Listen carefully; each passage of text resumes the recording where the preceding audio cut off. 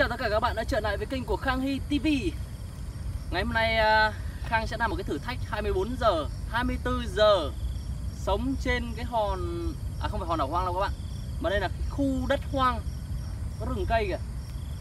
Có bên này là hồ nước. Nói chung là cái thử thách này là Khang uh, Nghĩ là rất là khó khăn Tại vì trời mưa rất là mưa rất là nhiều.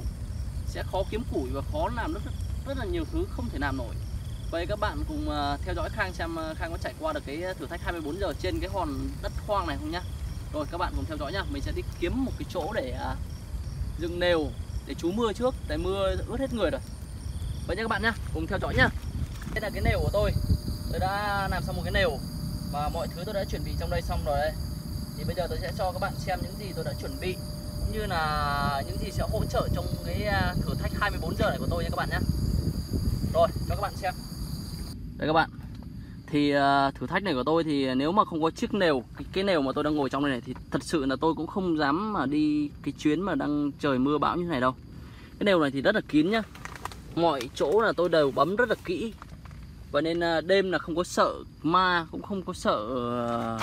À quên Không có sợ rắn thôi. Chứ ma thì nó bay Nó vào các bạn nhé Bây giờ tôi sẽ cho những cái gì mà tôi đã chuẩn bị đây. Để thực hiện được cái thử thách này đầu tiên là phải nói đến mũi. Mũi thì tôi phải mang theo cái ờ, mùng này. Nếu mà không có mùng thì tôi nghĩ là chắc không có thể, không có thể nào mà vượt qua được đâu. Còn ai mà cố mà nằm để mũi chích mà vượt qua thử thách được thì tôi không biết nhá.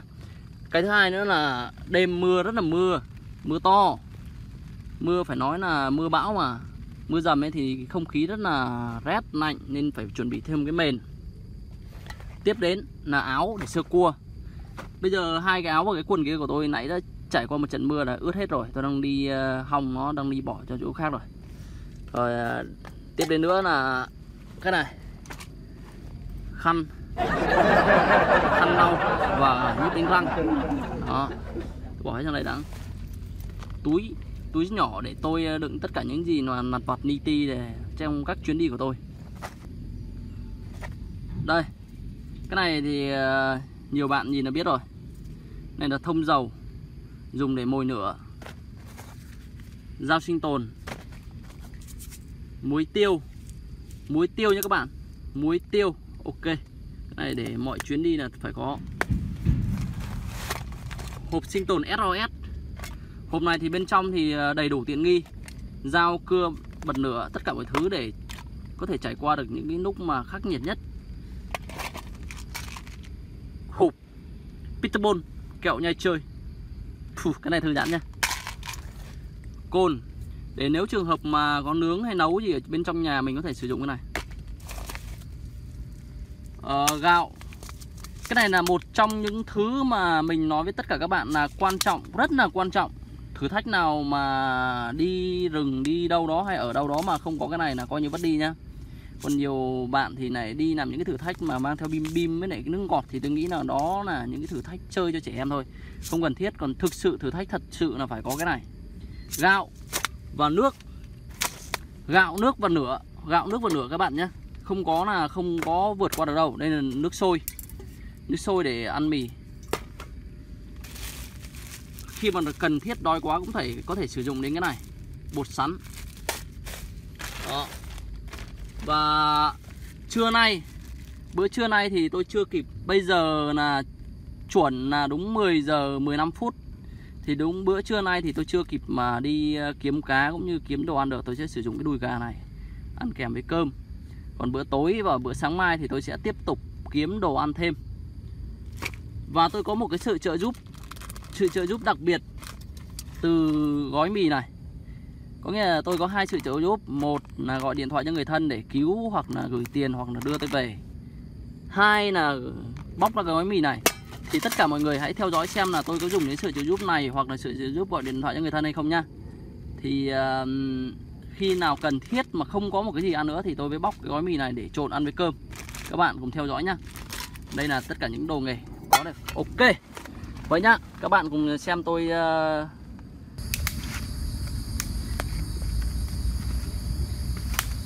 các bạn ạ, thì thật sự là bây giờ trời nó mưa. Nó mưa mưa cả tuần nay rồi, tại vì mưa ảnh hưởng bởi bão mà các bạn. Bây giờ miền Trung, miền Bắc đang là rất là mệt mỏi vì mưa bão nên ở trong đây cũng ảnh hưởng. Thì tôi trải qua 50 cây số từ dưới Sài Gòn đi lên đây, là đây là Củ Chi, để thực hiện cái thử thách này. Mà vào đúng mùa mưa, mùa bão, vậy nên à, rất là khó khăn. Củi này, củi nó rất là ướt, bên trong nó cũng ướt. Đó và tôi sẽ cố gắng tôi lấy thật nhiều củi về để cho nó hong cho nó khô để còn tối nay tối nay và sáng mai nữa. Thì uh, củi ướt nhưng mà tôi sẽ cố gắng.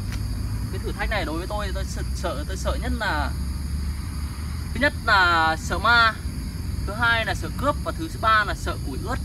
Các bạn nếu mà thấy tôi ờ, vất vả hay là thấy tôi cố gắng trong clip này thì hãy like hoặc là chia sẻ cho tôi cái động lực để uh, tiếp tục làm những clip. Clip tiếp theo các bạn nhé. Rồi để tôi lấy củi đã.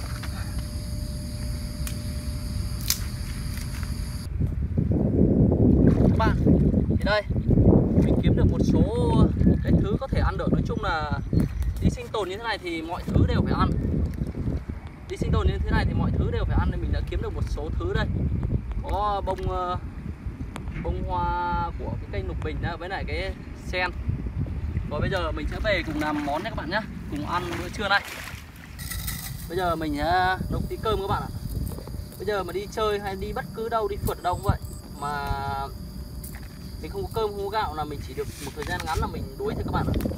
Vậy nên mình à, không phải kinh nghiệm hay là chia sẻ hay gì đó mà nói thật luôn nhá.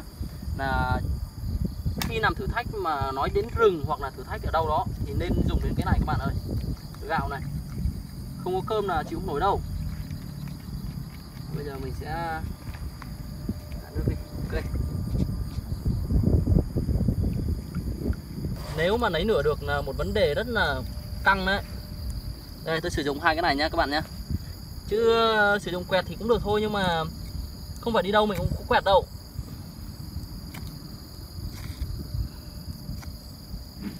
Nếu mà gặp trời nắng thì tôi nói thật, đúng thật là 30 giây là có nửa ngay nhưng mà gặp trời mưa thì không dám nói đâu có cháy được gặp trời mưa thì rất là khó. Tôi đang sử dụng cả bao bao cao à quên, không phải bao cao su mà bao ni lông. Đó, các bạn. Rất là khó cháy chứ không phải đơn giản.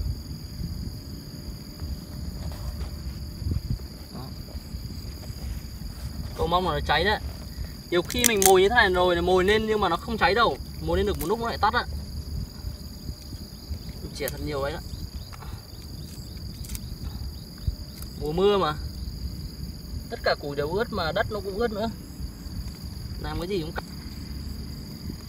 phê lắm các bạn. Nhìn thì dễ nhưng mà làm thì không thật thật sự là không dễ một chút nào đâu.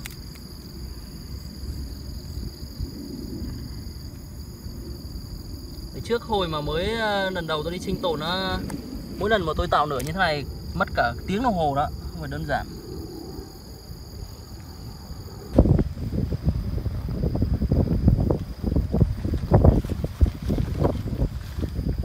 Các bạn ạ, thì thật sự là bây giờ là nắng lên rồi nhưng mà rất là mệt, tại vì gió gió rất là to.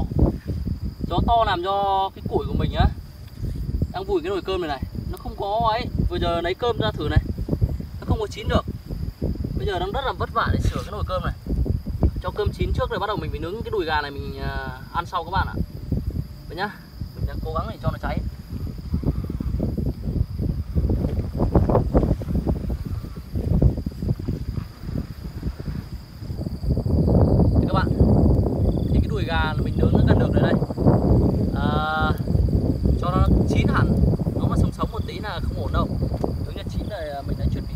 Kia rồi. Cơm thì mình bỏ bên này rồi. Thử xem là hôm nay mình ăn cơm bụi xem như thế nào này các bạn nhá. Các bạn cùng ăn với mình nhá. Ok các bạn thì đây này. Đùi gà của mình nướng đã xong rồi đây. Nhìn thấy ngon không? Tôi nhìn là tôi thích rồi đấy. Đùi gà này rất là rẻ không có đắt đâu. Mấy ngàn một cái thôi. Đây muối ớt đây. À, bây giờ quan trọng nhất là cái này. Dạ, dạ, dạ. Cái nồi cơm. Bây giờ mình sẽ đổ cơm vào đây. Ô rau của nó, nó gió thổi đổ này à. Cơm các bạn ạ. Cơm nó hơi cháy cháy. Đây cho các bạn xem. Cơm này Nó hơi cháy cháy một chút. Bây giờ mình sẽ lấy cơm ra. Nhưng mà đi rừng như thế này nó chín được là may rồi chứ nó mà không chín là hơi mệt đấy các bạn ạ. Đó các bạn ơi. Các bạn thấy cơm không? Cơm muối ớt. Rau. Rau này hoàn toàn hoàn toàn ăn được nha các bạn nhá thì cái này thì tôi thấy mọi người ăn ở trên mạng thì tôi cũng ăn thôi. Ok, bây giờ mình sẽ cùng thưởng thức nhá bây giờ mình sẽ thử cái đùi gà trước các bạn nhá mình thấy là khá là ngon đấy. Đây cứ chuẩn bị uh, muối ớt siêu cay uhm. nó mềm nó mềm mềm nhưng mà mình chấm muối hơi ờ, đậm nên ờ, nó hơi mặn. Đó cơm của các bạn. Uhm. cơm bị cháy tí các bạn ạ. Đó, ngon lắm. Mời tất cả các bạn nhé à. Ờ. uhm. phê phê. Đùi gà thì chín mềm tuyệt vời. Cơm thì hơi cháy một tí. Nồi cơm đây. Ok, nhưng mà mọi thứ hôm nay thật là tuyệt và ăn nó rất là ngon cái này thì ăn sống ăn kèm vô cũng tuyệt vời luôn. Thôi uh, nói chung là mình mời tất cả mọi người nhá. Uh, bữa hôm nay là một bữa cơm mà mình cảm thấy là rất là vất vả nhưng mà đổi lại một cái sự nó là ăn rất là tuyệt vời rất là ngon. Thật sự hôm nay gió với mưa là mình nấu nồi cơm này rất là cực các bạn ạ. Đây các bạn này thì thực chất là mình được người ta chia sẻ thôi cái rau này ăn được nhá ăn rất là ngon. Rau uh, lục bình nhá đây này. Ăn rất là ngon bây giờ mình sẽ chấm muối ớt nhá. Chấm muối ớt thật cay. Muối ớt á. Mình chấm muối ớt xong mình ăn nhá. Ăn rất là ngon các bạn ạ. Thịt gà. Bây giờ muối ớt, thịt gà. Ăn thịt gà này với cơm này đúng thật sự là rất là sướng. Ừ. Ừ. mình hay xem những video của người à, Ấn Độ á. Người ta hay ăn kiểu này. Cảm giác ngon thật.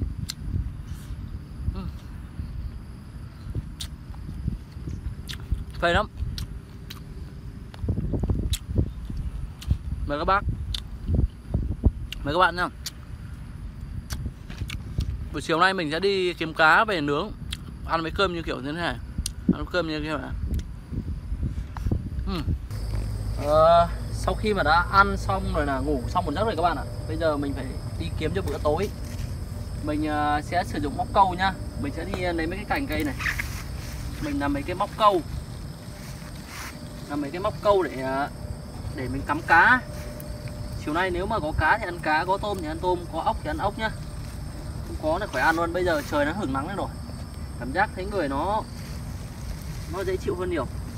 Mình sử dụng cái cưa này các bạn này. Cưa này rất là sắc đấy, nhưng mà hơi ngắn thôi.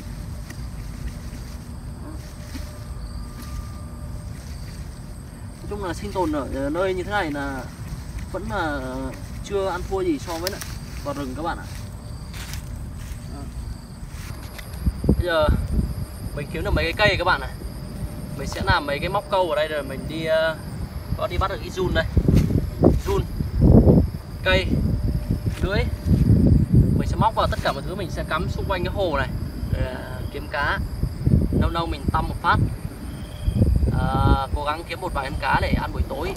Thử thách của mình là bắt đầu từ lúc 10 giờ sáng nay các bạn nhé thì uh, bây giờ là 3 giờ chiều rồi. Có nghĩa là mình mới trải qua được có 5 tiếng đồng hồ thôi. Các bạn à, tiếp tục xem thử thách của mình nhé cô nhỉ? Mình vừa câu vừa quặm. Bây giờ là 4 giờ chiều rồi mà chưa được con nào. Đây, có thể là tối nay tối nay rất có thể là mình sẽ phải ăn cơm với muối hoặc là phải dùng cái phao cứu hộ là gói mì tôm. Nói về xong cá ăn luôn các bạn ạ. Thôi bây giờ mình tập trung mình câu cá đã câu cá này, kiếm cá nướng cá nướng siêu cay. Các bạn, bây giờ hiện tại là mình làm mấy cái bẫy này mình chưa được con nào. Đây, như có con á. Ở đây anh à wait. What? Yeah. Được một con các bạn ơi. Con này, từ lúc 2 giờ chiều đến giờ Đến giờ là gần 6 giờ tối rồi, năm rưỡi rồi Mới được một con này. Là thăm 6 cái 6 cái cần như thế này các bạn này. Mà giờ mới được một con. Ok các bạn xem này. Uh, chê. Vãi cả trường. Phê thật. Rồi ok bây giờ mình sẽ đưa về làm món nha các bạn nhá. Tại vì giờ cũng rất là muộn rồi.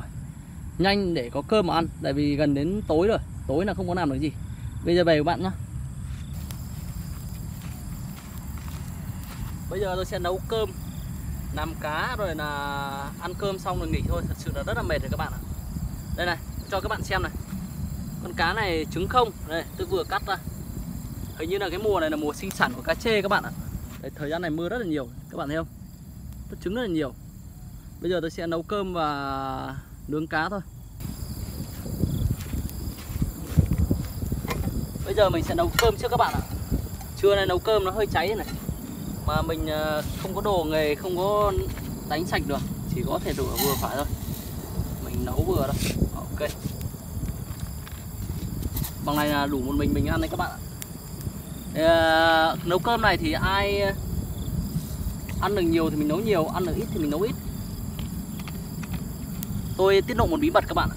Cá chê này tanh kinh khủng. Nó đang mang trứng mang bầu. Mà bụng nó có mỡ béo ghê luôn á. Nhìn các bạn, các bạn nhìn chắc các bạn sẽ nói nó là cái trên nuôi á. À mà cái trên nuôi thật, cái hồ này nuôi. Mình đến đây mình đánh bắt ăn chung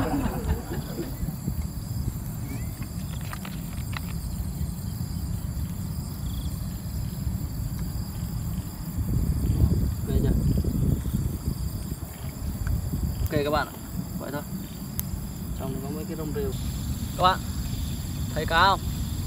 Nó đã cháy hết cái lớp mỡ ở ngoài, tôi cho cháy các bạn ạ. Cho cháy cho nó nó hết cái lớp mỡ ở ngoài đi, mình ăn cái thịt ở trong thôi. Mình không thiên ra cái chê đâu, thật sự như vậy. Đó. Các bạn nghe gì chưa? Bây giờ là gần 6 giờ tối rồi. Vậy nên tiếng mà cóc nhái ếch nó kêu om sòm đằng sau mình này các bạn này. Mình sẽ cố gắng mình nướng thật nhanh, nướng cho thật nhanh, cơm thì chắc chín rồi. Để ăn, để đi ờ, mắc màn và chui vào lều ngủ. Tại vì hôm nay rất là mệt. Vậy mình sẽ ngủ sớm nhé các bạn nhé. Nếu mà nửa đêm khoảng 1 2 giờ mình có sức dậy mình sẽ tâm sự với các bạn một tí. Còn không thì mình sẽ ngủ đến khoảng 5 giờ sáng mai. Mình dậy mình gỡ mấy cái bẫy cá. Có cái gì mình lại review là làm món cho bạn tiếp tiếp à, xem tiếp. Ngày mai mình sẽ thử thách đến 10 giờ trưa mai các bạn ạ. Đúng là sáng nay này. Là mình đi đến lúc 8 rưỡi đi 50 cây số để lên đây để làm thử thách này thì đúng 8 rưỡi ngày mai thì mình về nhưng mà không mình sẽ làm đúng đến 10 giờ trưa mai mình về. Mình về nhà khoảng là 12 giờ trưa nha các bạn nhé tối ngày mai mình sẽ có video up cho các bạn xem. Các bạn đón xem nhá. Đây các bạn thì hiện tại mình đã nướng xong con cá chê đây. Mình nướng cho cháy luôn. Cho cháy đen như ông thần rớt luôn. Đó, cho đen hết. Đây các bạn thì hiện tại mình đã nướng xong con cá chê đây. Mình nướng cho cháy luôn. Cho cháy đen như ông thần rớt luôn. Đó, cho đen hết wow. các bạn này, cái da của nó tụt ra riêng luôn này. Nếu mà ai thích ăn da thì mình ăn, còn không thích ăn da thì mình bỏ ra nhá. Mình sẽ lấy cái thịt nó ăn thôi. Chấm với muối tiêu, siêu cay. Đây các bạn. Siêu cay. Uhm. Sao lúc nãy mà mình nướng nó tanh mà bây giờ ăn cảm giác nó không có tanh một chút nào các bạn nhé Hình như tanh nó nằm ở ngoài da hết này. Ngon, phải nói là ngon, tuyệt vời luôn đó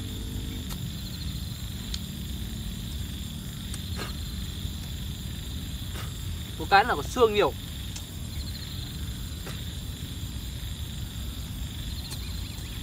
Mời các bạn nhé uhm. Mời các bạn ớt luôn. Cơm đổ ra vậy ăn tuyệt ngon các bạn ạ. Nếu mà ai muốn thử thì thử đi nhá. Tại vì tôi học cái này là học của người Ấn Độ. Cứ đổ cơm ra cho nó nguội á, Mình cứ nắm nắm như thế này, ăn ngon lắm. Uhm. Rồi, làm mình cái miếng rau đây. Rau đây các bạn này. Rau đó cứ xé này là ăn thôi, Nó chát chát đắng đắng. Chát chát đắng đắng. Tầm mình muỗng ớt, ngon. Đây. Nòng nó đây các bạn này. Trứng cá.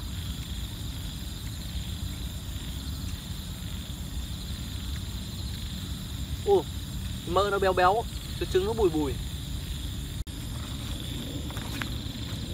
Ờ, bây giờ cơm nó no rượu đã say rồi các bạn ạ. Bây giờ mình sẽ đi dọn chỗ. Mình sẽ đi dọn chỗ và mắc màn để ngủ thôi. Mấy cái này chắc mình bỏ hết trong đây. Đây mình có mang theo màn đây Có dây cột sẵn rồi. Bây giờ mình sẽ cột vào đây. Cột vào đây.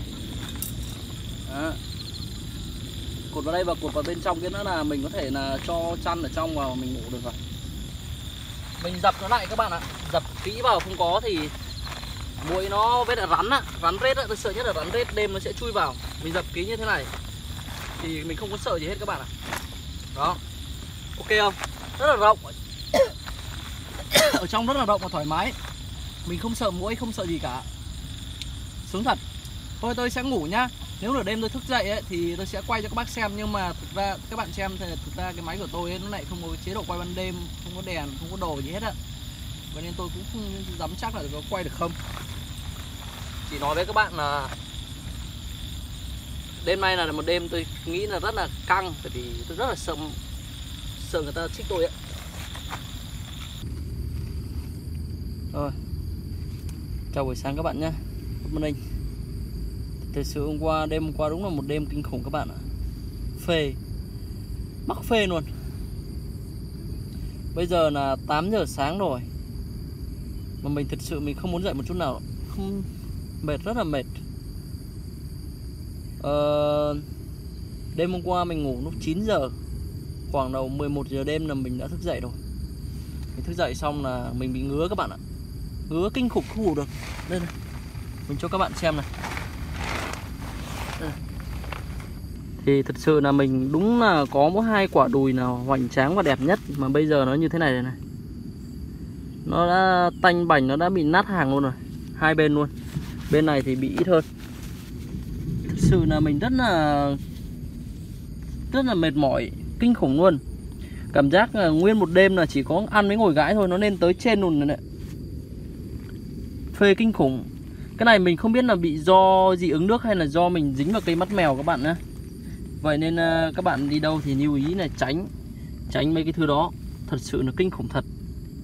Còn đêm vừa rồi thì à, ngoài trời mưa rất là to, mưa mưa, nói chung là mưa nhiều lắm. Củi, rác chắc ướt hết rồi. Mưa với lại à, gió. Nhưng mà mình nằm trong đây thì không có sợ mũi không có đây, các bạn nhìn này. Mùng rất là chắc chắn. Nói chung là rất là ok, không có mũi nhưng mà chỉ bị rột ở góc này, ướt một tí. Nói chung là thử thách này là mình chỉ bị căng nhất là cái chỗ này thôi. Và mất ngủ bây giờ mình sẽ cố gắng mình sẽ dậy ăn một chút cháo hay ăn một chút gì đó rồi là kết thúc thử thách. Giờ 8 giờ rồi. À, mình đi ra xem bẫy chứ các bạn nhé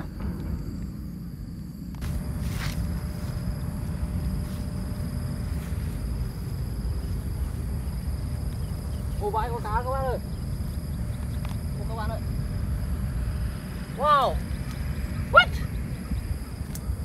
Vãi trưởng Thật sự là mình đã tính là mình đã tính là chuẩn bị là đi về rồi đó có nghĩa là kết thúc uh, cuộc uh, thử thách 24 giờ các bạn ạ. Và bây giờ lại nhấc lên một con này. Thì mình ghim 5 cần 5 cây như thế này. Thì mất một cây một cây thì bị mất rồi. Tôi nghĩ là cá nó giật đi rồi. Còn 4 cây một cây này ăn được một con các bạn ạ. Vãi thật. Bây giờ chắc thử thách này phải kéo dài thêm một tí các bạn ạ. Là có nghĩa là bây giờ là 9 giờ rồi nhưng mà mình sẽ nướng cá ăn uống xong rồi mình mới về đang tính là đi về. Đấy các bạn. Vãi trưởng thật. Cắm 5 cằn, Mà còn ờ, 4 Mất một. Các bạn xem. Các bạn xem cá của cá cá đồng, Cá sông nó, Cá suối nó khác cái cá nuôi chỗ nào. Đó. Đó, vãi trưởng không? Vãi thật. Qua mới bắt được một chú, hôm qua bắt được chú to, hôm nay bắt được chú này nhỏ hơn một tí, nhưng mà cũng chắc cũng anh em với nhau thôi. Nó cũng cỡ ngang ngang nhau. Mà người nó hình như nó bị sao này các bạn này nó cắn nhau hay là à chắc là đêm nó cày đấy. Thôi bây giờ mình sẽ đưa về làm món nhé các bạn nhé không liên thuyền nữa, ăn thôi, đói lắm rồi. Đây các bạn các bạn thấy phía sau rồi không? Có rất là nhiều nấm đó nấm nấm này tôi mới lấy này. Đó. cái này cái này là nấm mèo nhá, còn cái này nấm, này là nấm khác các bạn ạ. Có nghĩa là nấm mèo này, nấm mèo này ăn được này. Bây giờ mình sẽ lấy một ít để về về về về mình luộc mình ăn. Còn đây, tôi mới lấy thêm một cái này nữa các bạn nhìn thấy không? Sắc ve sầu đó, đây này. Bạn thấy không? Đây, sắc con ve sầu này. Mình lấy cái này, mình về mình nấu nước uống. Nấu nước uống để chữa hai cái đùi xinh xắn của tôi. Hai cái đùi tôi nó bị ngứa kinh khủng. Bây giờ mình sẽ lấy sắc ve sầu với lại cái nấm mèo. Ok. Rồi về à, làm con cá chê. Đỡ đạn cơm nhé Bây giờ mình sẽ Mình sẽ ăn sống Ăn sống con con cá con cá chê này. Các bạn có tin không? Cái trên này chê đồng nên rất là ngon. Mình sẽ ăn thử. Mình sẽ thử ăn sống cho nó như thế nào nha các bạn nhé à. Chưa dám cắn à. Chưa dám cắn nào đã sợ đấy các bạn ạ. Chê chê đồng nhưng mà thực ra chê nào cũng vậy thôi. Cái da của nó rất ớn các bạn ạ. Thôi, nói chơi vậy thôi. Chứ tí nữa mình làm thịt ăn thôi. Chứ ai mà dám ăn sống nó Đấy các bạn. Chuẩn bị mình làm một cái món cơm Cơm đặc biệt các bạn ạ. Cái Món này chắc chưa ai làm đâu Tại vì mình có khùng khùng mới làm thôi. Bây giờ mình sẽ cho các bạn xem nhá. Rồi là xem ăn như thế nào. Đây, các bạn. Đó. Cơm mình đã cho gạo vào rồi. Bây giờ mình sẽ cho thêm cái này. Là cái cái cái nấm tay mèo này mình đã rửa sẵn rồi là Đấy. Ok không các bạn? Không biết có ăn được không? Nhưng mà bây giờ là hết nước rồi. Sinh tồn trong rừng mà bây giờ thật sự là hết nước Không còn một tí nước nào nữa Chỉ còn nước để đủ đổ vào đây để nấu cơm thôi. Rồi cái bông súng này mình cũng cho vào đây luôn. Mình sẽ thử xem cái nồi cơm này sẽ ra như thế nào. Rồi các bạn cùng đón xem nhá. À, Ăn ngon thì mình nói ngon Ăn dở thì mình nói dở. Hỡi mà được thì các bạn làm theo Mà không được thì các bạn đừng có làm. Rồi ok Mình là vật hy sinh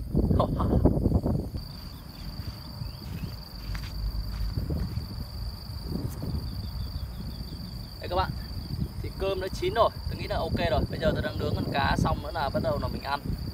Qua mình ăn con cá mình sẽ chụp bóc đầu này. Các bạn thấy không? Ờ các bạn thấy ok không? Cho nó sát tí. Đây, tôi cho các bạn xem Ngon thì thôi rồi. Đó, Thấy không? Ngày hôm qua tại vì con cá kia tôi không có để cho các bạn xem đâu được Tại vì con cá kia hôm qua trời nó gần tối rồi á thì tôi ờ, bỏ ra tôi chiến luôn để ăn xong rồi tối rồi còn ngủ nghỉ. Bây giờ đang rảnh rỗi thì cho các bạn xem này thấy không? Thấy không? Thịt nó ngon. Rồi, ui trời nó chắc nó chắc như cục đá vậy các bạn ạ. Con cá hôm qua thì nó rất là nhão, con cá là dục này nhão. Thịt nó không có như này, hay là do mình nướng nửa áp hôm qua mà tôi nướng nửa áp, còn hôm này tôi nướng riu nướng nửa nhỏ. Bây giờ mình à, bỏ ra mình nhậu rồi ở đây các bạn tại thì tôi đã lấy nồi cơm ra đây. Đây, cơm tôi vừa mở ra đây. Chín rất là ngon. Ơ, nhưng mà chín rồi. Cái mùi nó hơi hơi, cái mùi nấm. Tôi bỏ nó đây. Có chút cháy này các bạn này. Cháy cháy đấy. Chung là tôi chuẩn bị thêm ờ, muối tiêu này. Muối tiêu với lại ớt. Siêu ngon, siêu ờ, đặc biệt luôn cơm cháy cháy các bạn ạ. Đây, tôi cho các bạn xem gần nhá. Ngon lắm. Cháy rất thơm. Đây các bạn, thấy ngon không? Nấm này, bông súng này, cơm thì hơi cháy cháy. Muối ờ, tiêu, ớt, chanh, cá. Và rồi, mời tất cả các bạn nhá. Cùng ăn. Mình sẽ thử cá trước các bạn nhá. Thử cá xem nào có ok không. Tôi bây giờ tôi đang rất là đói. Thử nhá. Các bạn, ui, nó chắc trời ơi cứng nhắc à?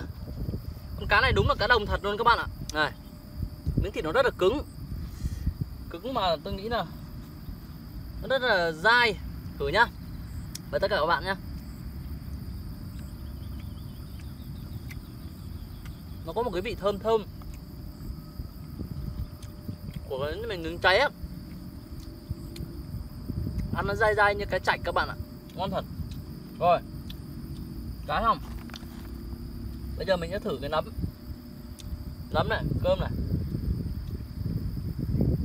Mời các bạn nhá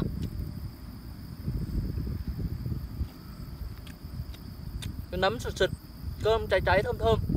Ngon thôi rồi. Ừ. xin lỗi các bạn nha ta làm thêm miếng nữa.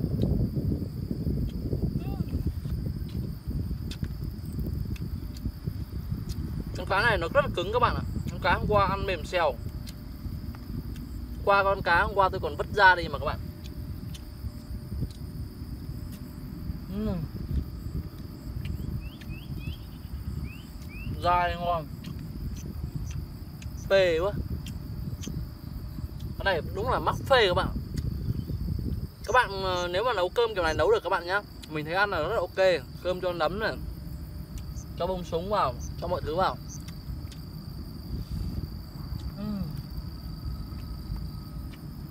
ngon thôi rồi. Ngon thôi rồi, bạn ơi. Mình ăn và nhiều bạn đã chửi mình bảo là khoe là chết ạ mình ăn như thế này để mình quay clip cho các bạn xem thôi. Tại vì um, thực sự ấy là mình cũng đói. Mà cái hoàn cảnh môi trường ở đây thì ăn là ngon là đúng rồi. Bốn bề là cây cối, ăn sướng lắm. Nếu mà ai mà chán mà đang làm một công ty hay gì đó đang chán thì mình hãy đi một chuyến như tôi này tôi muốn truyền cảm hứng cho con người là hãy đi chơi và hãy thỏa mãn với những gì mình muốn, chứ không phải là tôi chỉ có mục đích là kiếm tiền đâu các bạn.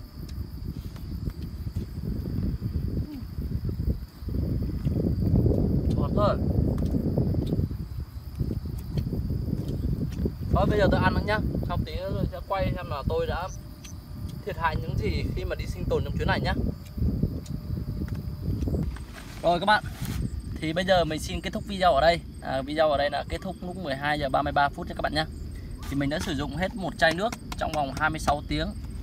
Và hết nhiều ly gạo các bạn này. Đó, từ đây, đến đây. Nghĩa là gần hết nửa ký gạo các bạn ạ. Một bình nước uh, sôi. Đó.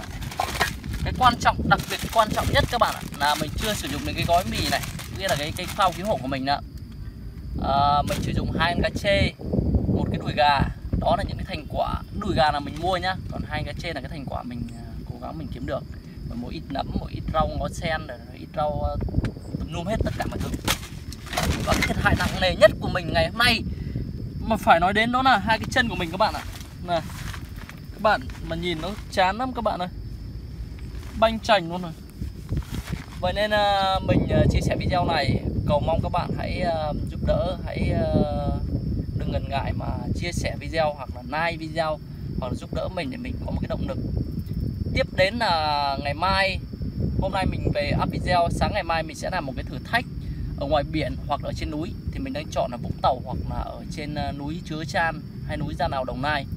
Thì hai cái núi đó, hai hai địa điểm đó ngày mai mình sẽ thực hiện nhé các bạn nhé các bạn cùng đăng ký để đón xem video mới nhất của mình.